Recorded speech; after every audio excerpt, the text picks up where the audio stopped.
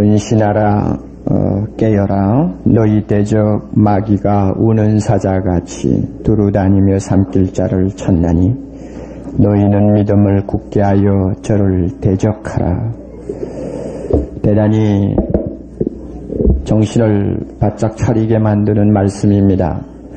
이런 말씀을 여러분이 읽으실 때 참 이 말씀이 나에게 무슨 의미를 갖느냐 하는 것을 각자가 좀 깊이 생각하셔야 됩니다.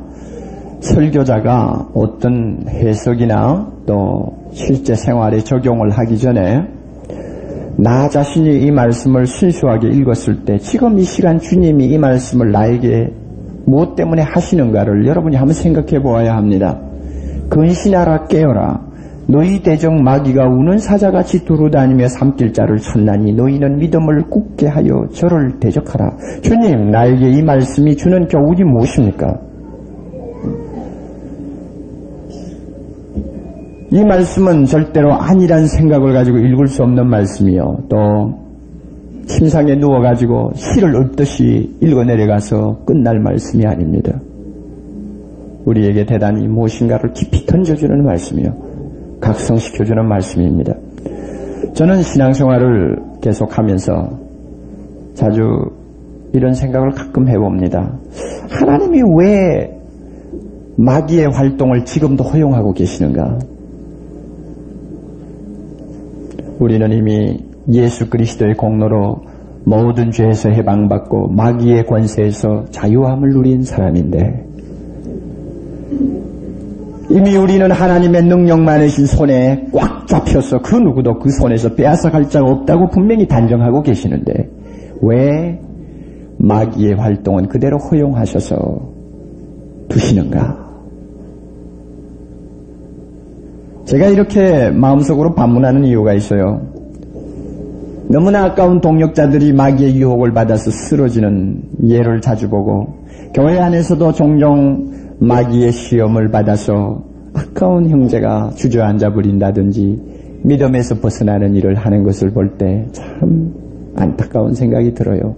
왜 하나님이 마귀를 허용하고 계시느냐? 멀리는 오늘 공산주의자와 같은 악한 사람들이 마귀의 사주를 받아서 그 수많은 성도들을 무서운 탄광으로 시베리아의 벌판으로 아니면은 죽음의 형장으로 끌고 가서 수십 년 동안 계속 핍박하는 것을 볼 때 왜 하나님 그런 마귀의 존재를 지금까지 두시냐, 두십니까? 하고 안 물을 수가 없어요. 신학적인 대답은 이것입니다. 하나님의 나라가 아직 완성되지 않았기 때문에 하나님의 택한 자가 마지막으로 다 들어와서 그 수가 찰 때까지 좀 기다려라. 이것이 주님의 대답 중에 하나입니다. 그러면 주여 기다리는 기간은 좋지만은 꼭그 그 기다리는 기간 동안 마귀가 그렇게 마음대로 활동하게 내버려 두셔야 합니까? 이렇게 생각하면은 우리 나름대로 무엇인가 해답을 좀 찾기가 어려워지는 의문을 갖습니다. 아마 여러분 그런 질문을 스스로 안 해보셨는지 몰라요. 아니 이 가운데서 상당한 분 상당한 분들이 그렇지 않기를 바랍니다만은 마귀라는 것이 존재하나 하고 생각하는 분들이 계실까 또 겁이 나요. 나는 생전 마귀의 유혹을 받은 일이 없는데 무엇이 마귀가 그렇게 대단하다고 이야기를 하나 또 이렇게 생각할지도 모릅니다. 미안합니다. 한마디 말씀드리죠. 여러분이 마귀의 시험을 아직 한 번도 받았다고 생각이 안 되면 여러분은 마귀의 지배에서 아직 벗어나지 못한 분들입니다. 예수 믿고 주님의 품 안에 들어온 사람은 실 사이 없이 도전받게 되어 있습니다. 제가 성경을 생각하면서 한 가지 그 신명기 7장 22절의 말씀을 가지고 한 가지 깨달은 것이 있어요. 하나님이 마귀의 활동을 아직도 완전히 중단시키지 않고 허용하시는 이유는 우리에게 꼭 필요하기 때문이다. 즉 필요악이기 때문이다. 하는 것을 제가 깨달았습니다.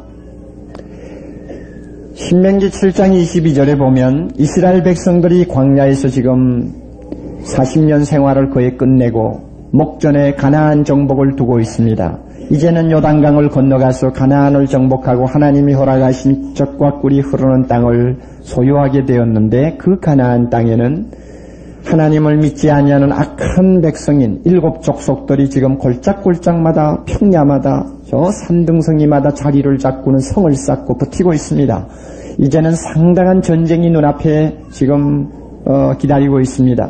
그럴 때 하나님이 7장 22절에 말씀하시기를 내 하나님 여호와께서 이 민족들을 내 앞에서 점점 쫓아낼지니 한 번에 싹 쓸어버린다고 하시지 않고 조금씩 조금씩 쫓아내겠다. 그 이유가 어디 있느냐 하면 만약에 이 민족들을 한 번에 다 없애버리면 나중에 들짐승들이 들끓어가지고 너희들을 해칠지 모르니까 들짐승들이 번성하는 것을 막기 위해서 사람들을 쫓아내는 것을 점진적으로 하겠다.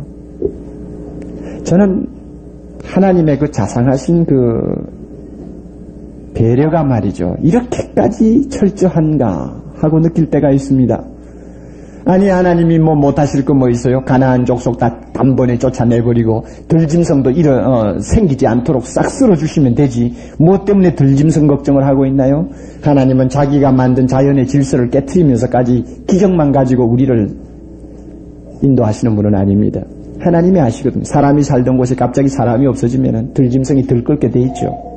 그러니까 들짐승의 피해를 막기 위해서도 가나안 족속을 서서히 서서히 쫓아내면서 이스라엘 백성이 점령한 지역, 점령한 지역 따라서 쫓아내겠다. 제가 이 말씀을 생각하면서 아 하나님 옳습니다. 마귀를 하나님께서 아직까지 이 땅 위에 잔존하게 하시고 또 우리 성도들을 좀 괴롭힙니다만은 그 마귀의 활동을 허용하시는 이유를 알겠습니다. 마귀를 한 번에 다 쫓아내버리면 그래서 마귀가 전혀 활동하지 않는 세상이 되면 우리 생각에는 굉장히 죄도 범하지 아니하고 또 신앙생활 잘 할 수 있으리라고 판단할 수 있습니다. 그러나 그것은 착각이에요. 이 세상에 우리가 사는 이상, 우리가 육체를 입고 존재하는 이상, 내 육체는 썩어 있습니다. 이미 이 본성은 부패해 있습니다. 그러므로 마귀의 자극을 받고 마귀의 유혹을 받지 않는다 할지라도 내 육적인 본성은 스스로 부패할 수 있고 스스로 신앙에서 탈선할 수 있는 가능성을 충분히 가지고 있습니다. 더욱이 이 세상은 우리가 조금이라도 가다가 들어누워서 자서는 안 되는 곳입니다. 따라서 자서는 안 될 곳에 누워서 자는 사람은 망하는 사람이요. 그러므로 절대 자서는 안 됩니다. 깨어 있어야 합니다. 그러니 보세요. 하나님께서 생각하신 겁니다. 마귀는 우리에게 필요악이다. 왜냐하면 오늘 본문에 근신하고 깨어라. 누구 때문에 근신하고 깨야 합니까? 마귀 때문에 항상 우리는 근신하고 깨어 있어야 됩니다. 마귀의 존재는 우리를 깨어 있게 만듭니다. 마귀의 존재는 우리를 근신하게 만듭니다. 근신한다는 말은 정신을 차리고 있으라는 말입니다. 정신, 정신을 차리도록 만듭니다. 만약에 마귀의 존재가 없다면 우리는 잠잘지도 모릅니다. 이 세상에서 잠자면 안 됩니다. 여러분이 저 외국에 여행을 가보시면 아시겠지만 큰 넓은 사막 같은 데는 하루 일정이 있지 않습니까? 그 일정을 통과해야 합니다. 중간에서 만약에 잘못해가지고 자버리면은 저녁에 어떤 일을 당할지 모릅니다. 자서는 안 되는 지역이 있어요. 기록들을 보면 등산 같은데 가서 아주 저울음이 많이 올 때 자서는 안 되는 때가 있습니다. 자면 죽어요. 이 세상이라는 곳은 자서는 안 되는 곳이요.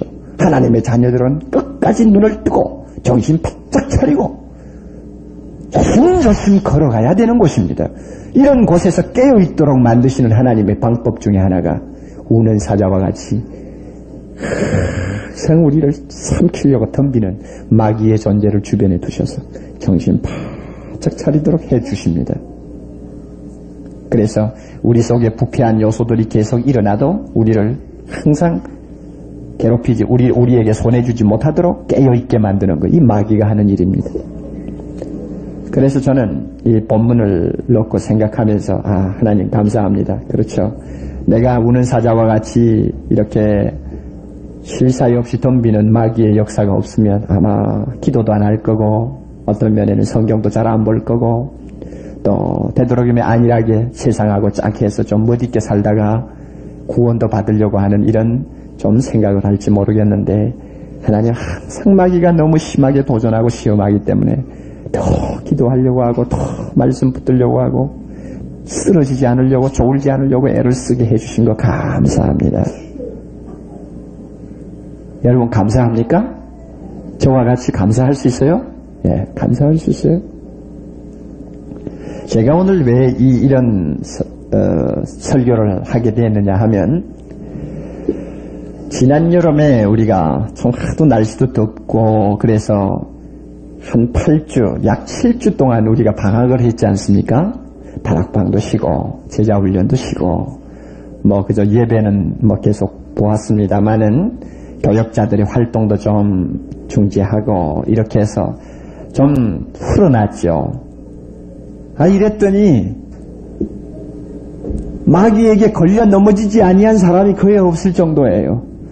다락방에 가서 보니 전부 풀어져 가지고 참석도 잘 안 해. 다락방에 나온 분들이 이구동성으로 하는 이야기가 참 방학이 있으니까 안 좋아요. 쉬지 맙시다. 그래서 어떤 다락방은 여름 내내 안쉰 다락방도 있다고 그래요. 제자 훈련반을 들어가니 전부 다 맥이 빠져가지고 풀어져서 성경 얼마나 보았는지 체크를 해보니까 방학 동안에 성경 한 서너 장 보고 끝난 사람도 있단 말이에요. 성경 안 보니 기도 안 했을 것 뻔하죠. 뭐 성경 안 보는 사람 기도했다는 말은 거짓말이에요. 너무 풀어졌어요. 그럼 이 풀어진 이유가 어디 있느냐? 마귀에게 당한 것입니다. 덥다는 핑계로, 이제는 쉰다는 핑계로 마귀가 슬금슬금 들어와서 나를 유혹할 때 방비를 하지 않고 다 쓰러진 것입니다. 여러분 사랑의 교회가 그래가지고 되겠어요? 좀 쉬었다고 마귀가 마음대로 그냥 활키고 뜯고 찢고 그냥 삼키고 만약에 이렇게 되었으면 되겠어요 이거? 한번 생각해 봐야 되겠느냐고.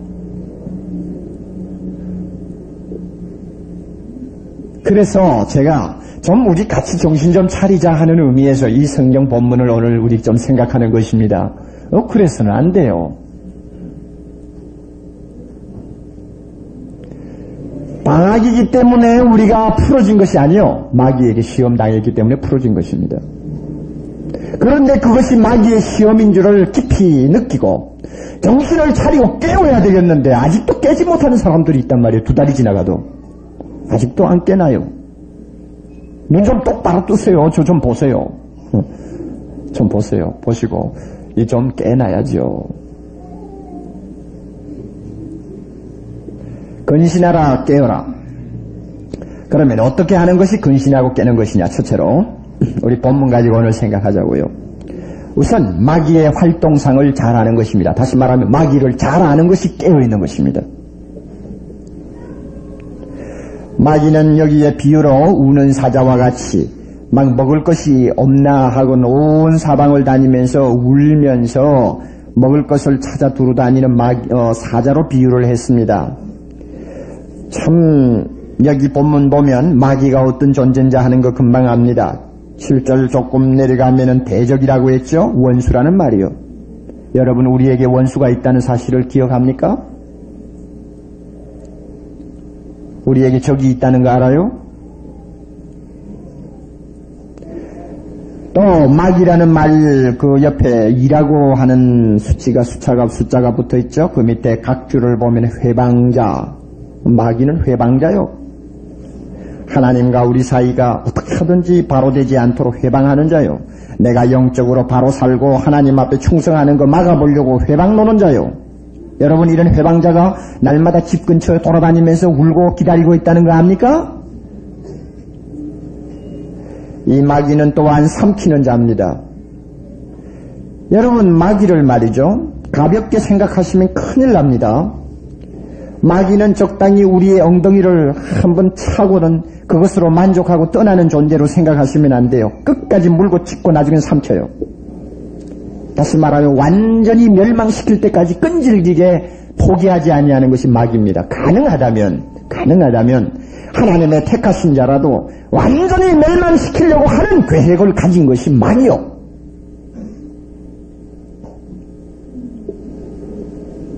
이런 마귀의 존재를 우리가 뚜렷이 알아야 합니다. 이런 적이 존재한다고 생각하는 사람은 깨어 있어요. 적이 어떤 적이라는 것을 알면 알수록 깨어 있어요. 여러분 전방 초소에 가보세요. 세계에서 가장 잔혹하고 악한 정신무장을 한 괴뢰군이 바로 목전에 있기 때문에 거기에 있는 초소에 우리 젊은이들이 어떻게 하고 있나 보세요. 연대장 소대장한테 이야기 들으니까 밤에는 잠 한 잠 자지 못한다고 그래요. 계속 초소마다 다니면서 부하들 격려하고 졸지 않도록 깨우쳐주고 꿈목들은 커피팟을 들고는 이 초소 저 초소 다니면서 행여나 좋을까 싶어서 커피를 마시고 뭐 대접하고 그 다음에 같이 기도해주고 공포에 질려있는 사병이 있으면 격려해주고 왜 그렇게 합니까? 상대방의 적이 너무나 악한 적이라는 걸 알기 때문에 조금이라도 좋으면 그거는 당하는 거예요. 우리가 예수 믿고 하나님의 자녀가 된 다음 마귀의 속박에서 벗어나서 하나님의 자녀가 되었기 때문에 우리에게는 적이 생겼습니다. 주님이 말씀하신 대로 너희가 세상에 속하였다면 세상이 너희를 사랑할 것이지만 너희는 이제 세상에 속하지 아니하고 내게 속하였기 때문에 세상이 나를 미워하는 것처럼 너희도 미워한다고 했죠? 분명히 마귀는 우리를 미워합니다. 삼킬 때까지 할 수만 있으면 예수님은 우리를 완전히 구원하시려고 자기 생명도 아끼지 않고 다시 생하셨지만은 마귀는 우리를 완전히 멸망시키기 위해서 밤낮 없이 동분서주합니다. 이 대적, 이 무서운 마귀 이것을 여러분이 정확하게 아는 것이 깨어 있는 것입니다. 모르기 때문에 졸고 있어요. 모르기 때문에 우리는 방심하고 있는 것입니다. 여러분이 우는 사자같이 두루 다니면 다닌다는 이 말 속에서 무엇을 찾을 수 있는지 압니까? 세 가지요. 여러분 잘 정리하세요. 마귀는 쉬지 않는다. 아시겠어요? 배고픈 사자가 돌아다니면서 먹을 것 찾는데 쉬겠어요? 쉬는 법이 없어요. 하나 잡아 먹을 때까지 안 쉬어요. 쉬지 않는다. 마귀는 안 쉬어요. 우리는 뭐 방학이니까 좀 쉬자. 아이고 오늘은 피곤하니까 성경 좀 보지 말자. 뭐 오늘은 바쁘니까 기도 생활 좀 기도하는 거 좀 생략하자. 다 여러분 우리는 영적으로 쉬기를 잘합니다만 마귀는 쉬지 않습니다. 쉬지 않는 적을 놓고 쉬면 당하는 거죠. 또 하나 마귀는 활동적입니다. 정열적이란 말입니다. 마귀는 정열적입니다. 먹을 것을 움키기 위해서 소리 지르며 돌아다니는 사자처럼 활동적인 동물이 있나요? 활동적이요. 정열적입니다. 그러므로 웬만히 준비하지 아니하면 마귀에게 한번 걸렸다 하면 당하게 돼 있어요. 또 마귀는 어디나 존재합니다. 사자는 빨라서요 여기 동에서 번쩍 서에서 번쩍 할 정도로 빠릅니다. 마귀는 하나님처럼 무소부재한 존재는 못 됩니다. 하나님은 홀로 계셔도 온 우주에 충만하셔서 거하시지 않는 곳이 없지만 마귀는 그런 존재는 못 돼요. 그저 여기 번쩍 저기 번쩍이죠. 그런데 참 놀라운 것은 얼마나 그 활동이 기민하고 빠른지 마치 존재하지 않는 것이 없는 정도로 마치 하나님처럼 보일 정도로 우리에게 착각을 일으켜 줍니다. 그만큼 마귀는 빠릅니다. 존재하지 않는 곳 없어요. 자 어느 정도입니까 여러분? 하나님의 존전 앞에도 마귀가 가끔 드나듭니다. 우리는 역기서를 보면 압니다. 예수님이 40일 동안 금식하시고 성령 충만한 그 자리에 마귀가 찾아옵니다. 거룩한 곳이라고 마귀가 찾아오지 않는다고 착각하시면 큰일입니다. 여러분 오늘 이 예배 시간에도 마귀가 여러분을 따라 들어왔는지도 모릅니다. 여러분의 마음 속에 지금 마귀가 자리 잡고 있는지도 모릅니다. 여러분의 생각 속에 마귀가 자리 잡고 있는지도 모릅니다. 심지어 강단까지도 마귀는 따라 올라옵니다. 설교자가 강단에 올라와서 마귀가 벌써 대비하고 있는 것도 어떤 때는 압니다. 설교할 때 마귀가 강하게 유혹하는 것도 압니다.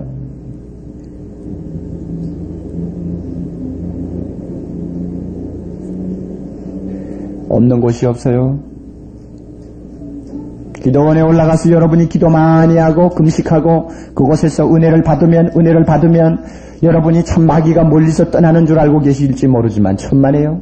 내가 은혜 받고 예수 그리스도의 참 사랑의 풍성이 거하여 오 하나님 감사합니다고 찬양과 경배를 드리는 그 영광스러운 은혜의 순간에도 마귀는 찾아와서 성전에서 뛰어내리라고 합니다. 너 은혜 받았으니 너 이제 성령 충만했으니 한번 성전에서 뛰어내려서 모든 사람 앞에 네가 은혜 받은 것을 한번 과시해봐라.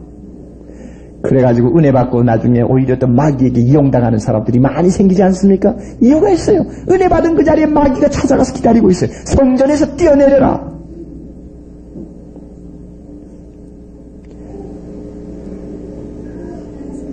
특별히 저는 여러분들에게 경고를 좀 하고 싶은 것이 있습니다.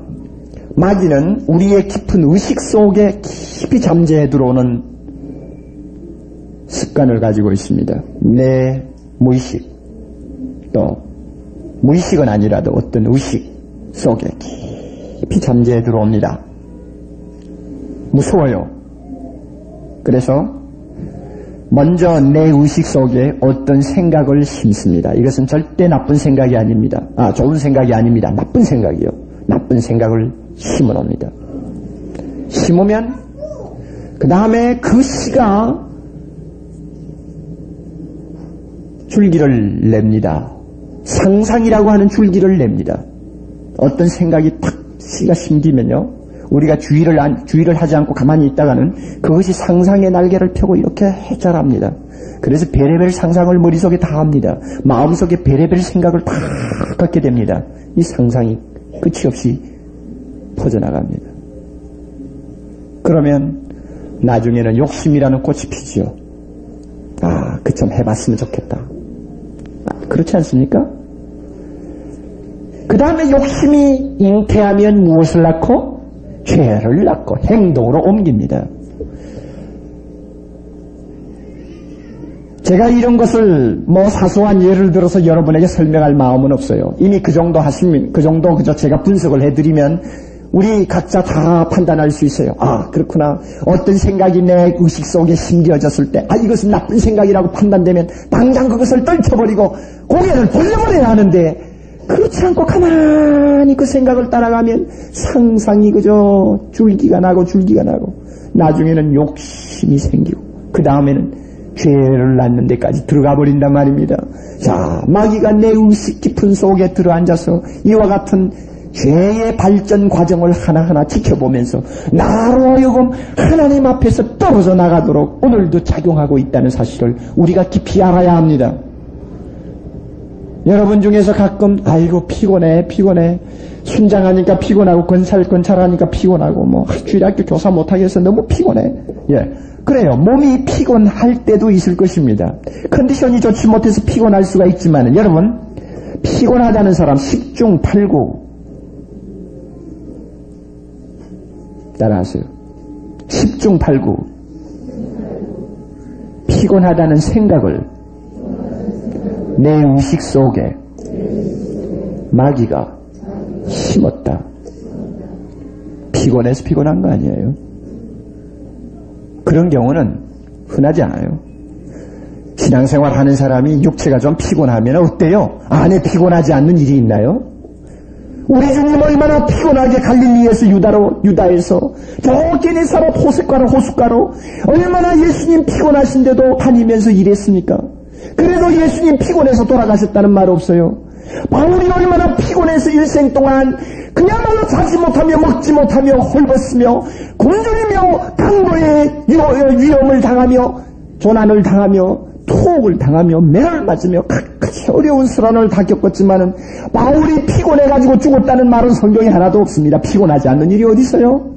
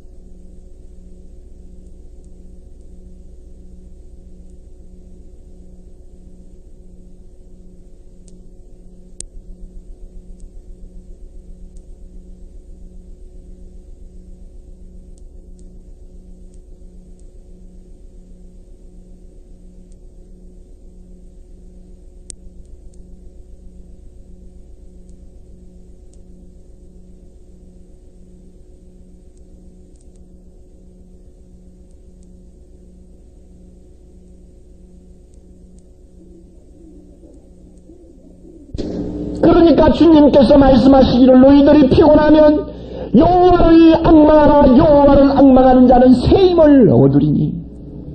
항상 그때그때마다 하나님 악망에서 새 힘을 얻고 다시 일하고 다시 충성하도록 하나님께서 만들어 주셨는데 여호와를 악망하려고 하는 생각은 하지 않고 마귀가 우리의 의식 속에 심어놓은 피곤하다는 생각 여기에 잡혔다가 그 피곤 때문에 아이고 하고 이런 생각 저런 생각 막 날개를 펴면 나중에는 쉬고 싶다는 욕심에 싹 빠져버립니다. 그러면 목사님에게 와서 목사님 좀 쉬고 싶어요. 미안해 여러분 요 쉬고 싶다고 한 분을 내가 책망하는 거 아니에요. 그러나 한번 생각해 보세요. 내가 진짜 이거 마귀에게 한번 유혹을 당한 것인가? 한번 생각해 볼 필요는 있어요.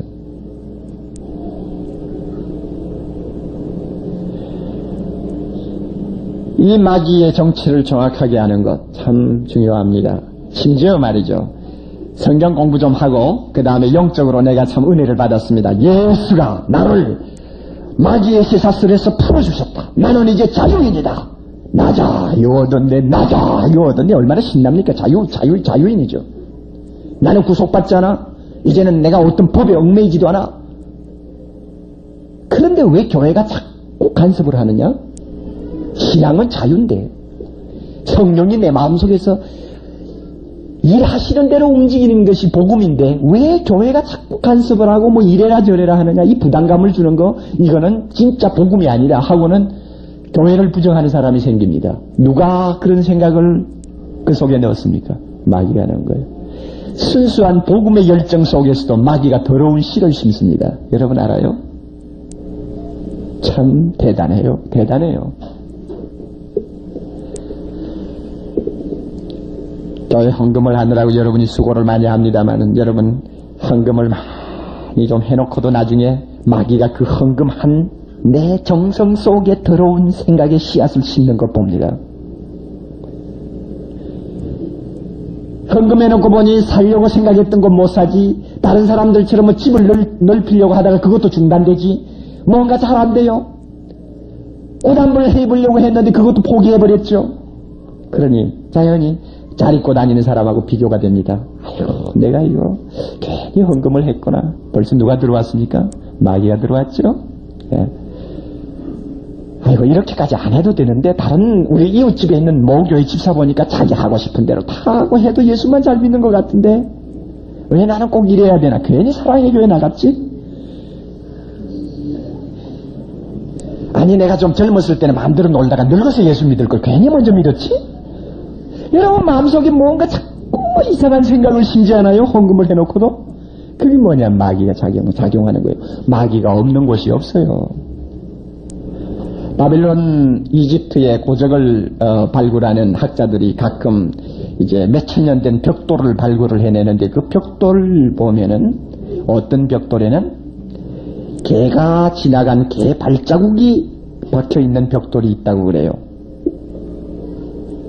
그래서 학자들이 이거 왜 이러나 하고, 왜 이러나 하고 생각을 하다가 아 이것은 틀림없이 옛날에 진흙을 이겨가지고 이렇게 모양을 만들어서 벽에 말리느라고 벽, 어, 가, 어, 볕인지 뭐 그늘인지 잘 모르지만 말리느라고 이렇게 벽돌을 널어놨는데 누가 지나간 것입니까? 개가 뛰어서 지나갔어. 발자국이 툭툭 박히니까 그것이 남아가지고 굳어져서 몇 천 년이 지나도 그 발자국이 없어지지 않고 있습니다. 여러분 우리가 마귀가 지나간 발자국을 여러분이 아시나요? 내가 눈물을 흘리고 기도한 자리에 마귀가 지나간 발자국을 아세요? 내가 정성껏 바친 헌금 뒤에 마귀가 지나간 발자국이 있는 것을 아시느냐고요? 무서운 존재입니다. 무서워요. 성령의 은혜가 아니면 하나님의 은혜가 아니면 아무리 순수하게 신앙생활을 하려고 해도 마귀가 지나가는 발자국을 지울 재간이 없어요 어떤 때는 강단에 설교하는 자리에 마귀가 지나가는 발자국을 여러분은 못 보죠? 옥 목사는 가끔 봐요 설교하는 자리에 마귀가 와서 있다고 생각할 수 있습니까? 설교하는 설교자의 마음속에 마귀가 들어와 있다고 생각할 수 있습니까? 그러나 어떤 때는 보면 지나간 발자국이 있어요. 없는 곳이 없어요. 마귀를 정확하게 아세요. 정확하게 아는 것이 깨어있는 거예요. 내 주변을 배회하고 있는 사자와 같은 마귀가 어떤 존재라는 것을 제대로 모르고 있으면 우리는 잠자는 사람입니다. 바로 알면 그 다음에 어떻게 할 것입니까? 믿음을 굳게 하세요. 믿음을 굳게 한다는 말은 간단합니다. 왜냐하면 믿음은 들음에서 나고 하나님의 말씀을 들을 때 믿음이 생깁니다. 그러므로 탄생할 때 말씀으로 탄생한 믿음이기 때문에 그 믿음이 굳어지고 성장하는 것도 말씀으로 되어집니다. 말씀과 기도로. 말씀과 기도로 되어집니다. 그러므로 말씀과 기도를 가까이 항상 해야 합니다. 여러분 병상에 가면 가끔 환자들이 성경책을 머리맡에 두고 있는데 뭐 자기가 놓은 것이 아니겠죠. 아마 가족들이 특별히 아플 때 성경이 옆에 있으면 좀 마음도 편안하고 또 어떻게 또 어, 기도할 마음이 생길 것 같아서 성경을 옆에다 두고 있는지 모르겠어요. 그러나 저는 한 가지 아쉬워요. 왜 병이 나서야 비로소 성경을 머리맡에 둡니까? 좀 병 나기 전에 좀 두면 얼마나 좋아요. 병나기 전에 자는 머리 맡에 성경 좀 두고 물론 두고 계시는 분도 있겠지만 회사에 나갈 때도 좀 가방 속에 성경 좀 넣고 가시고요. 조그마한 성경 사서 포켓도에 좀 넣고 다니고요. 그러면서 가끔 가끔 펴서 읽고 그러면 얼마나 좋아요. 이것이 내 믿음을 굳게 하는 방법입니다. 믿음의 주요 온전케 하시는 이 예수를 바라보자. 어떻게 예수를 바라볼 때 우리의 믿음이 온전케 됩니까? 예수를 바라보는 길은 다른 길이 없어요. 우리가 파란 하늘을 가을 하늘이 아무리 맑다고 해도 파란 하늘 쳐다본다고 예수 바라보는 것 아닙니다. 예수 바라보는 것은 하나님의 말씀을 묵상하고 기도하는 가운데서 바라보는 겁니다. 믿음 굳게 해야 합니다. 세 번째로 대적하라고 했어요. 대적하는 것이 깨어있는 것입니다. 대적하는 것은 우리가 뭐, 뭐 이상한 행동을 하는 것 아닙니다. 가끔 보면 마귀하고 뭐 싸우느라고 무슨 이상한 굿을 하는 사람이 있는데요. 참 바보 같은 짓이에요. 마귀가 그래가지고 뭐, 우리, 우리를, 우리를 겁을 내서 도망간다고 생각하세요? 여러분 시골에 가면 개가 막 짖지 않아요? 남의 집에 들어갈 때 개가 짖으면 개가 짖으면 여러분 만약 도망을 가면 개가 따라옵니다. 제일 좋은 방법. 딱 앉아가지고 여놈 해봐 하고 하면 개 옵니까? 못 옵니다. 이놈이 꼬리를 쳐맞고 도망가죠. 그런 식으로 야 많이 보고 어디 와봐 하고 이렇게 하는 게 대적하는 것입니까? 천만에 백번 그래도 소용없어요. 대적하는 방법이 있어요. 예수님의 방법입니다. 기록되었을 때. 마귀가 무슨 생각을 내 속에 넣으면 우리는 이렇게 말해야 합니다. 예수님은 이렇게 말씀하셨다 하고 딱 대비하는 것입니다. 이것이 기록하였을 때입니다. 예수님은 이렇게 말씀하셨다. 만약에 하와가 사탄이 와서 너 이 과실을 먹지 말라고 하더냐 할 때, 어, 하나님께서 먹지 말라고 하셨다 했으면 끝났을 거예요. 또 그것이 이게 그, 그렇게 되지 못했다 하더라도 나중에 마귀가 아니 먹어도 돼 내 눈이 밝아질 것이다 할 때는 하나님은 그런 말씀 안 하셨어. 하나님은 먹으면 정령 죽으리라고 하셨다. 만약에 이렇게만 했더라면 마귀가 절대 하와나 아담을 다치지 못했을 것입니다. 그러나 그렇게 반대급부로 분명히 말씀을 가지고 제시하는 태도가 없었습니다. 마귀를 대적하는 방법 기록되었으되 하나님은 이렇게 말씀하셨다. 내 말 틀렸다 하는 이야기예요. 그런데 이 일이 쉽지 않아요. 참 잘 될 것 같은데요. 대부분이 보면 이러, 이걸 잘 못해요. 왜 그럴까요? 마음에 성경이 남아있지를 않아요. 유혹은 이미 왔는데 그것을 대처할 만한 말씀의 준비가 안 돼 있어요. 참 이거 답답합니다. 내가 아침마다 출근하기 전에 성경을 좀 읽고 나가십시오. 만약에 그것이 안 되면 사무실에 가서도 좀 시간을 내서 읽으세요. 안 되면은 어떤 방법으로라도 좋아요. 그래서 말씀을 기억하고 묵상하세요. 어떤 때는 그 기억한 말씀이 금방 마귀가 왔을 때 내가 대적하기 위해서 사용해야 될 무기가 될 수도 있는 것입니다.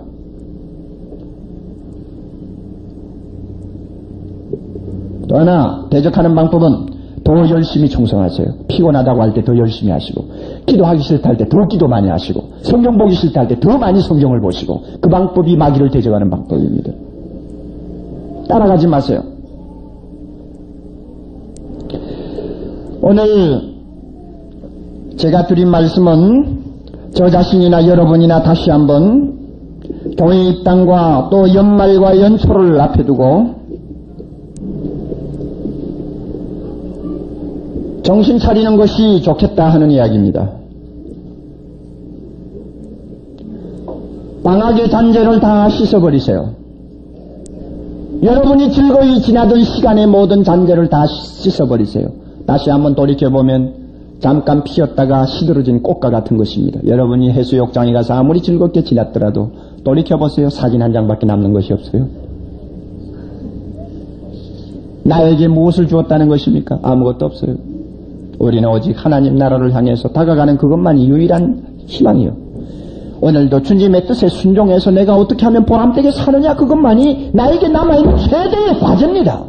내가 어떤 직장에서 일을 하든지 내가 가정에서 평범하게 살든지 간에 나중에 내가 만날 주님 앞에 떳떳하게 살고 왔다는 이야기를 할 수 있을 만큼 참다운 신앙생활 하는 것만이 우리에게 최대의 과제인데 깨어서 정신 차려야 돼요. 마귀가 돌아다닙니다. 가능하면 집어 삼키려고 합니다. 정신 차리고 주님을 바라봅시다. 성령께서 우리 모두를 무장시키시고 어디를 가든지 승리자가 되도록 하나님 영광 받을 수 있도록 아름답게 사용하는 사랑의 교회 성도 여러분이 되시기를 바랍니다. 다 같이 기도하십시다.